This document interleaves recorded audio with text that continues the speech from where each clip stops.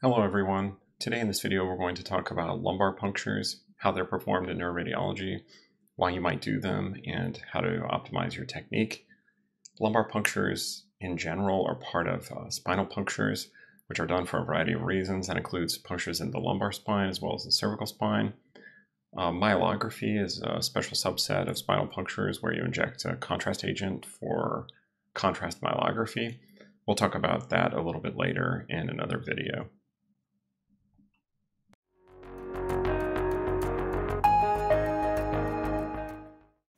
As part of any discussion about lumbar puncture, you have to think about what some of the general indications for spinal puncture are. Typically, they're being done to enable diagnosis, so you need some uh, CSF measurements to make a diagnosis, particularly if you're talking about a patient who are suspected of meningitis or uh, CSF malignancy or uh, spread into the leptomeninges. Some abnormalities of CSF pressure require a lumbar puncture, such as evaluation for pseudotumor or idiopathic intracranial hypertension or CSF leak. And then finally, you may be doing an evaluation to see if someone improves after a lumbar puncture in the case of normal pressure hydrocephalus.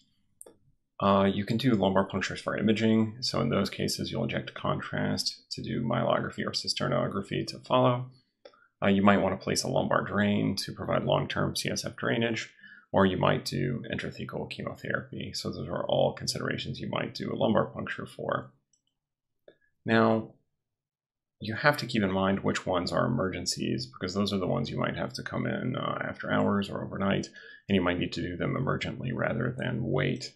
The true emergencies, uh, in my mind, are an emergent myelogram in a patient who's about to go to the OR. So if you have cauda equina syndrome, you can't get an MRI for whatever reason. Maybe you have metal uh, uh implanted or metal near the eye or an implant that's not MR compatible. Uh, or if you have a pacemaker that's MR incompatible. And uh, but in those cases, I would typically do it only if the patient's about to go to the OR when the ordering attending doctor asks you for it, like typically, then I will go ahead and do those. Uh, a lot of times, like if it's a resident or a medical student who's calling and asking for it, uh, I usually ask to speak to the attending if we're going to call someone in to do it uh, overnight, uh, because that's an emergency. Now, there are also a number of urgent indications. So the diagnosis of meningitis is relatively urgent. If someone has suspected IIH uh, or pseudotumor and they're having visual changes, uh, these are relatively urgent, but uh, a lot of times they don't have to be done overnight and they can wait until in the morning. This is a picture I drew on a whiteboard one day. I was trying to draw a lumbar spine, and uh, here's you know the transverse process and the spinous process. I was trying to draw the interlaminar space, and uh, the residents got a little creative and made this into a lumbar puncture man. But here, as a general principle, it kind of shows where you're going to go. Uh, you need to try to put your needle in the mouth of this uh, lumbar puncture monster. For a lumbar puncture, when you're starting, uh, positioning the patient is kind of key, and you'll you'll see different ways that people do this. I do my lumbar punctures and fluoroscopy with the patient prone and slightly decubitus. So I'll have them rotate about uh, you know five to fifteen degrees. If you're doing it in CT, you can do it either lateral decubitus or prone. And then starting out, you want to image to find a suitable approach, mark the skin, clean the skin, do your local anesthesia, and uh, then you'll choose your needle in advance until you get uh, CSF return. And as you're doing this, you're going to image intermittently as, as needed. So as you gain more experience and easier procedures, maybe you're imaging only a little bit. Uh, at the beginning, you might be imaging a lot. Now, as I mentioned, when you're positioning the patient, like some people choose to position the patient straight prone, uh, this, uh, in this maneuver, the spinous process can be a little bit more in the way. I prefer to rotate the patient about 5 or 15 degrees. If you have the patient pull one knee slightly towards their chest, that usually puts a little bit of uh, tilt in their spine. And what that will do is that will rotate the spinous process uh, to one side and kind of get it out of the way. Needle types are something that you definitely need to know about. The most common spinal needle that you'll see is called a Quincke needle, and it has a beveled tip like so. So this is a cutting needle, and it has an open, uh, the opening for fluid is inside here, so it's in the bevel here. And uh, you'll see those used the most commonly because it allows steering. They're the simplest to use. There is evidence that they have a raised risk of CSF leak after the procedure, but some of the benefits, uh, especially the ability to steer, make most radiologists continue to use cutting needles. Atraumatic needles, such as the Whitacre and Sprotte needles, you'll see they have uh, a little bit blunter tip, and then the hole for uh, CSF extraction or for injection is on the side. So you see the Whitacre has a, a side hole here, and the Sprotte has a side hole here, and uh, those are designed to kind of spread the dura as you enter, and they have a lower risk of leak, but they're a little bit more challenging to use, which is why we use them less often. Needle length is an important consideration as well. Um, most commonly, you're going to use a 3.5 inch or 9 centimeter needle. That's going to come in the vast majority of lumbar puncture kits. In patients who are a little bit larger, uh, you may have to use a larger needle, like a 12 centimeter or 5 inch needle. In the truly largest patients, you may have to use a 7 inch or 17 uh, centimeter needle. Now, needle size is uh, also a consideration, so needle gauge or the thickness of the needle. Uh, many times, like the ones that we use, have a 20 gauge needle that comes in the kit. It has a yellow hub. There's some advantages of a 20 gauge needle. You get the fastest fluid collection. The needle will bend the least when you're putting it in. But as you use a larger needle, the risk of CSF leak is a little bit larger. A 22 gauge needle is a nice needle for most common procedures. It has a kind of an intermediate risk of leak you get a nice balance of steering and rigidity and uh, still being able to collect fluid. You'll sometimes see people use 25 gauge needles. Most often that's not for CSF collection because it's simply too slow to measure CSF pressure and to collect fluid. Uh, but the risk of leak is the lowest, and you can use it for myelography if you're simply going to be injecting contrast. So 22 gauge needle, like I said, is kind of my go-to needle for the vast majority of my spinal procedures. Now, this is an initial image that you might see when you place the patient on fluoro, and there's a couple of things that uh, I'll point out. You can see a little wisp of the 12th ribs here. You can see that there's five lumbar vertebral bodies, and uh, so you see the 12 rib, and you can kind of number your vertebral bodies. So you kind of see where you are.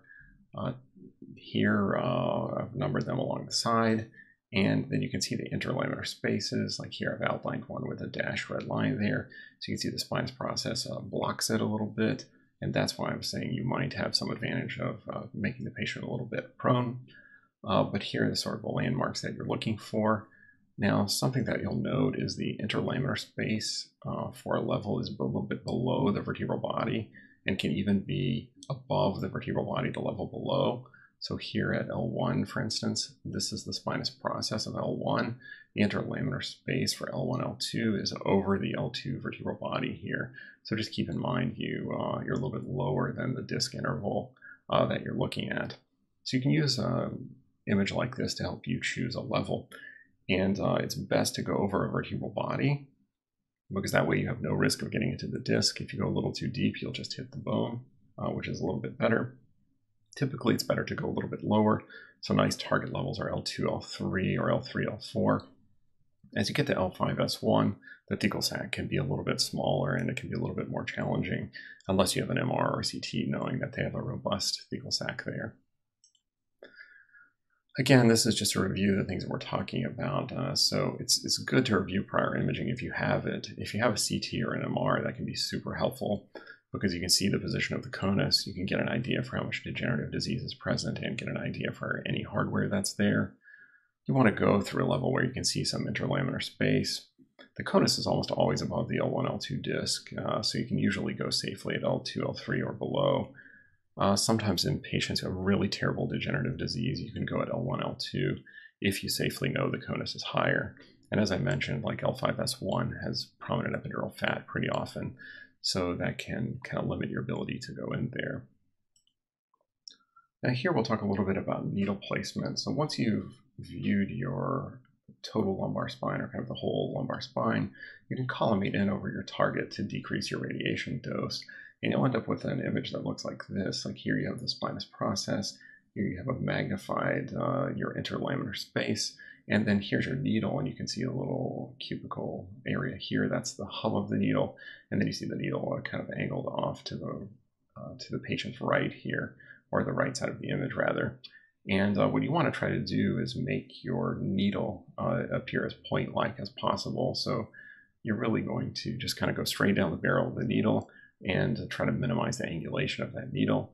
And as I mentioned already, you can image as needed uh, as you would make adjustments to the needle.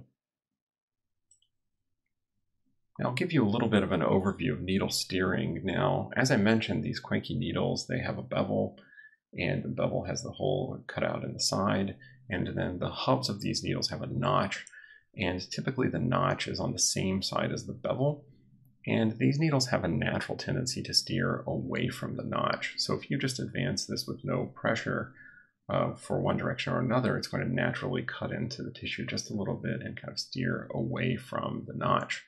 So you can take advantage of that as you're trying to steer your needle a little bit.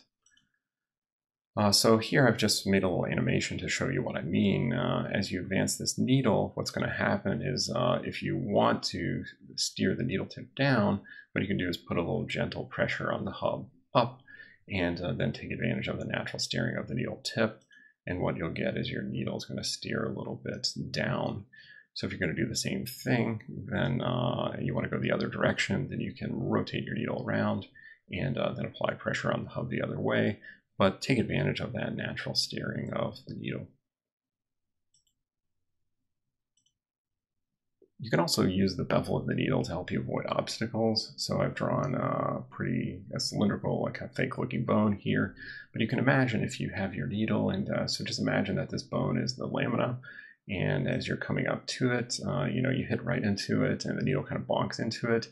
If the bevel is in this position, what will happen is it will anchor in the bone right there, and you're not going to be able to get to get past that.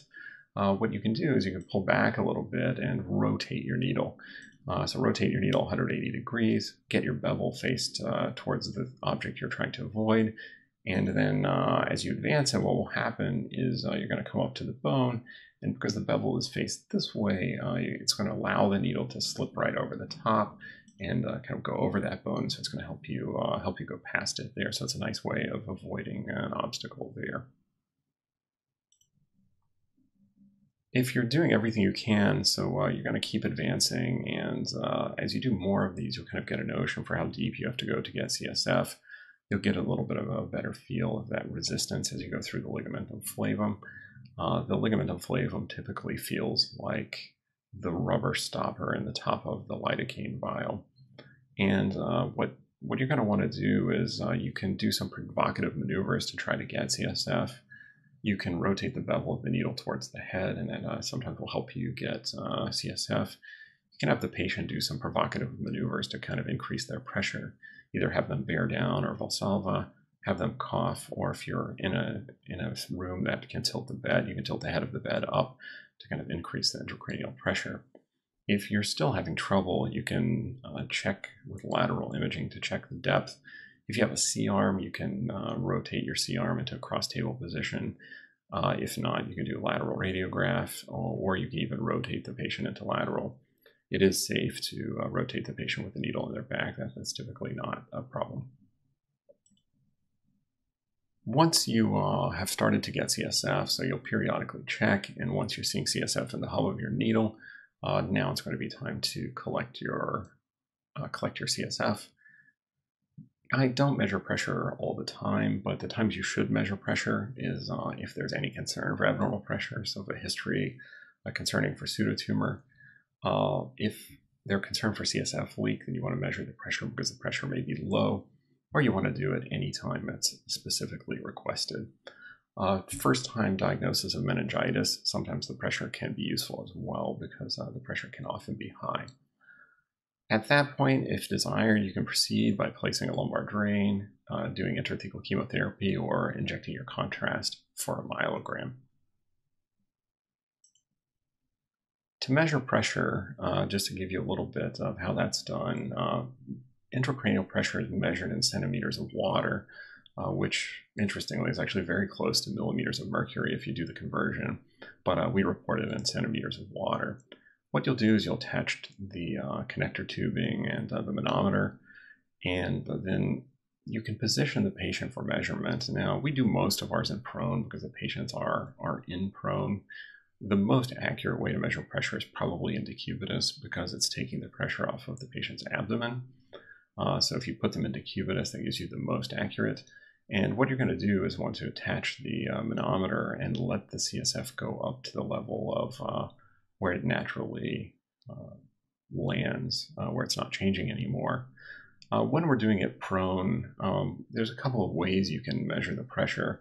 If you're using a long enough connector tubing, you can hold your, your three-way stopcock at the level of the spine.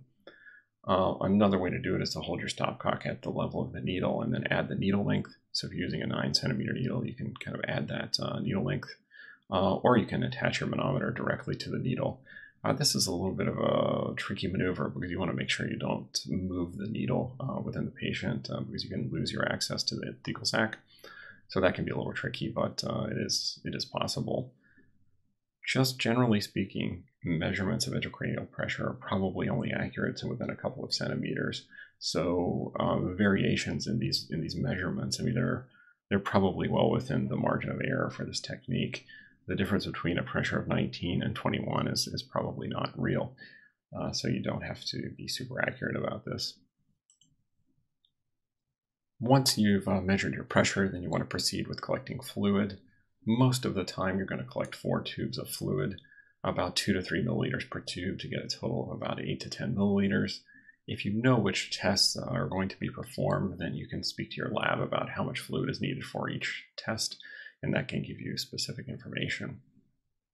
In patients who have a diagnosis where more fluid is needed, usually this means intracranial malignancy where they're looking for leptomeningeal spread, unusual inflammatory conditions uh, where they're looking for, uh, I don't know, say for instance, sarcoidosis or something like that, and they want to do uh, flow cytometry or cell or uh, kind of more detailed testing. Unusual infections, you want to collect more fluid. Now, when patients have intracranial hypertension, you can collect more fluid as a therapeutic measure to actually bring the pressure down. I typically will collect up to 20 to 25 milliliters of fluid in, in patients uh, for these reasons. Uh, if it's a pressure condition, you can measure the closing pressure, uh, so you can do that as well. Um, I'll point out that there are a few tests that require special tubes. Some of the tests for Alzheimer's disease, uh, where they're measuring tau protein, will use a special tube because tau protein collects along the side of the conventional tubes. So you want to use whatever special tube is necessary for those tests. So just be aware that that's a consideration. Finally, I'll give you a little bit of a note about a lumbar drain. Lumbar drains are long-term, not long-term, but intermediate terms over a couple of days, measures of uh, reducing the CSF pressure. Usually that's done when the patient has a dural leak, uh, often after an intradural procedure, so a spinal procedure where the dura had to be opened, or a sinus procedure, or a mastoid procedure. Lowering the pressure uh, can give this a chance to heal. Typically, you can do these uh, just like an LP, only you'll use a larger needle with a curved tip. Uh, it's a special needle type called a Tuohy needle. Typically, those are larger needles, and they often come in a lumbar puncture drain kit and these, these can be 14 or 17 gauge needles. Once you get into the intrathecal space, uh, you just pass the catheter through this Tuohy needle into the subarachnoid space. You want to direct the tip towards the head. A lot of times you'll work in conjunction with your neurosurgery department and they will place the, uh, the lumbar drain.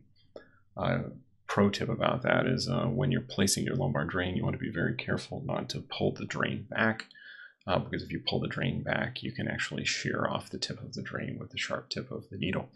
So if you're having any problems with tip positioning, the safest thing to do is to remove the whole apparatus, needle and all, and start again.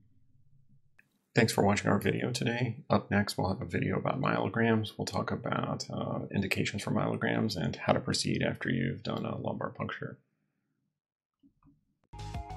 Thank you for watching our video today. If you enjoyed it, I hope you'll check out our other videos on our channel. Click here to subscribe or check out our website on learnneuroRadiology.com.